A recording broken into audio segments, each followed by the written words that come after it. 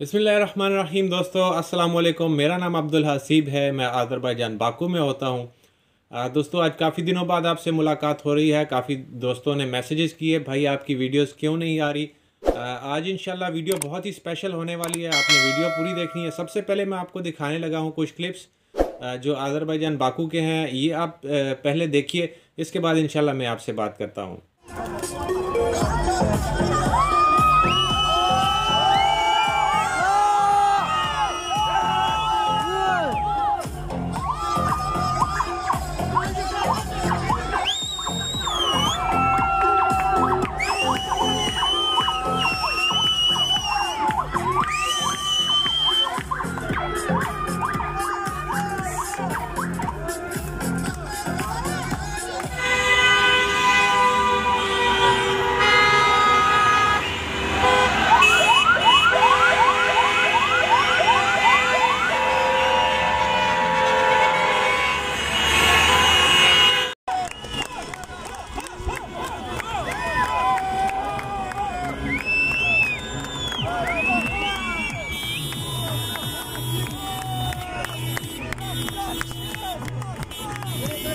जी तो दोस्तों ये जो क्लिप्स हैं ये पाकिस्तान के नहीं हैं ये आज़रबाईजान के हैं।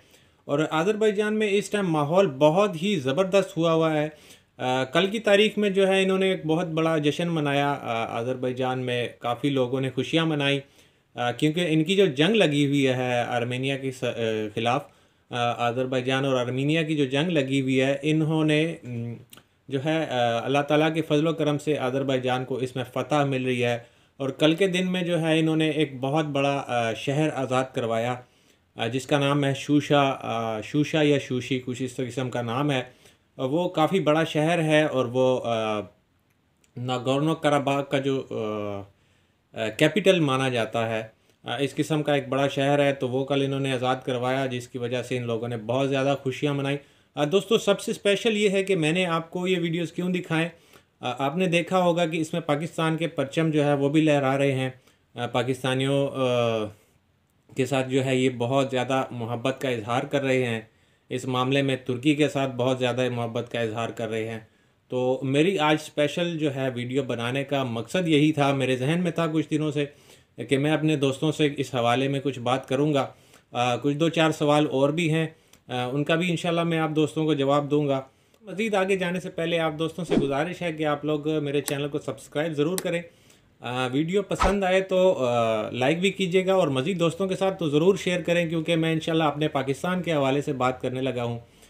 दोस्तों मैं यहाँ पे मौजूद हूँ और मैं यहाँ पे घूमता फिरता हूँ तो मुझे इस चीज़ का एहसास है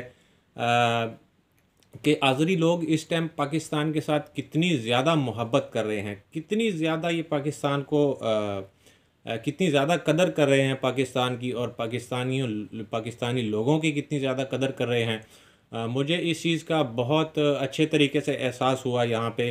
पहले भी ये लोग बहुत ज़्यादा प्यार करते थे, लेकिन जो, जब से ये जंग स्टार्ट हुई है, इसके बाद से जो है ना, बहुत ज़्यादा ये हमें कदर दे रहे हैं।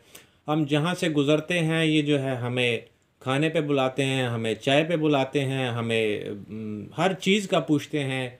इनका छोटा छोटा बच्चा जो है, वो हमें जो है अपना भाई मानता है। ये यही मानते हैं कि हमारे दो भाई हैं एक तुर्की है और एक पाकिस्तान है। ये दोनों हमारे भाई हैं। मेरी जो है आज स्पेशली मकसद ये था कि मैं एक मैसेज पहुँचा सकूँ। ज़्यादातर फॉलोवर तो नहीं है मेरे, लेकिन जो भी हैं, उनसे ये गुजारिश भी करता हूँ कि मेरी वीडियो को ज़्यादा से ज़्यादा शेयर करें ताकि मज़ीद लोगों तक भी ये बातें पहुँच सकें। मेरा मकसद ये है कि मैं अपने पाकिस्तानियों को ये बताना चाहता हूँ कि मेरे पास हमारी यहाँ पे कितनी ज़्यादा कदर है, ठीक है? बहुत ज़्यादा प्यार करते हैं ये लोग हमसे, बहुत ज़्यादा प्यार करते हैं ये लोग हमसे, और हमें इसको गंवाना नहीं चाहिए हमें इनकी भी कदर करनी चाहिए। मेरी ये गुजारिश है पाकिस्तानियों से जो पाकिस्तान के लोग यहाँ पे आते हैं, जो पहले आए हैं या जो बाद में आएँगे, उनसे ये गुजारिश है कि आप लोग जो है यहाँ पे आएँ और अपनी इमेज को ऐसे ही बरकरार रखें। अपनी इमेज बिल्कुल आपने ख़राब नहीं करनी, क्योंकि आपकी एक छोटी सी गलती से हमारा पूरा मुल्क जो है वो बदनाम हो सकता है।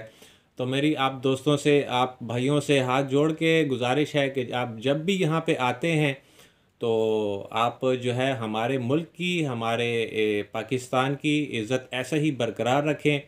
आप यहाँ पे आएँ, अच्छे तरीके से रहें अच्छा काम करें प्रॉपर बिज़नेस के लिए आते हैं स्टडी के लिए आते हैं या जैसे भी आप आते हैं आप एक प्रॉपर अच्छे तरीके से रहें।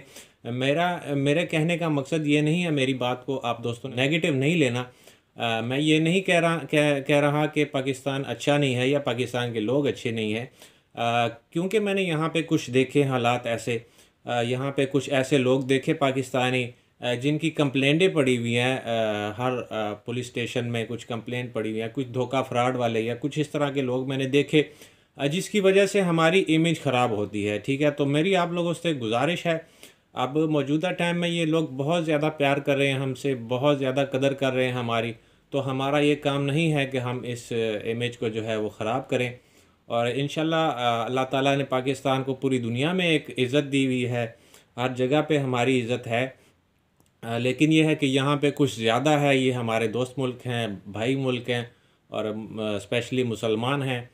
तो इस वजह से उसके अलावा जो है कुछ दोस्तों ने सवाल किए कि हसीब भाई हालात कैसे हैं आज़रबाईजान के, बाकू के हालात कैसे हैं? काफ़ी दिनों से वीडियो भी नहीं मैंने बनाई। उसकी वजह, कुछ जंग की वजह भी थी, कुछ जो है यहाँ पे इंटरनेट की कमी की वजह थी। जो है इंटरनेट अलाउ नहीं है, इन्होंने कुछ चीज़ें बंद की हुई हैं। और उसके अलावा कुछ काम की मसरूफियात भी थी जिसकी वजह से मैंने वीडियो ज़्यादा अपलोड नहीं की। इन मैं आने वाले दिनों में अच्छी अच्छी वीडियोज़ अपलोड करूँगा। सवाल ये थे दोस्तों के, कि हालात कैसे हैं? तो ब्रदर, जी, जंग की वजह से जो है वो रात को नौ बजे से लेकर सुबह छः बजे तक कर्फ्यू होता है यहाँ पे। और दिन को तकरीबन नॉर्मल हालात होते हैं। हर बंदा अपने काम पे जा रहा है शाम तक अपने काम पे अपने काम कर रहे हैं। और रात को जो है वो घर से बाहर नहीं निकल सकते क्योंकि इन्होंने थोड़ी सी सख्ती की हुई है। आ, बाकी दिन को कुछ नॉर्मल होता है। कोरोना की भी कोई इतनी ख़ास वो नहीं है। मास्क वगैरह की पाबंदी है। मास्क सब पहनते हैं और हफ़्ता इतवार को जो है वो बस सर्विसेज़ बंद होती हैं। तो ये रहे बाकू के हालात। उसके अलावा कुछ दोस्तों के सवाल और भी थे आ, काम के अलावा काम के बारे में और जॉब्स के बारे में तो इन ये वीडियो बहुत लंबी हो गई है और आप दोस्त ज़्यादा लंबी वीडियो पसंद नहीं करते तो इन मैं नेक्स्ट एक वीडियो बनाऊँगा जॉब्स और काम के हवाले से और एक दोस्त है मेरा उनका इंटरव्यू भी लूँगा वो माशाल्लाह बारह तेरह साल से यहाँ पे हैं तो दोस्तों दुआओं में याद रखिएगा चैनल को सब्सक्राइब करना ना भूलें और मिलते हैं इंशाल्लाह अगली वीडियो में. इजाज़त दीजिए. अल्लाह हाफिज़.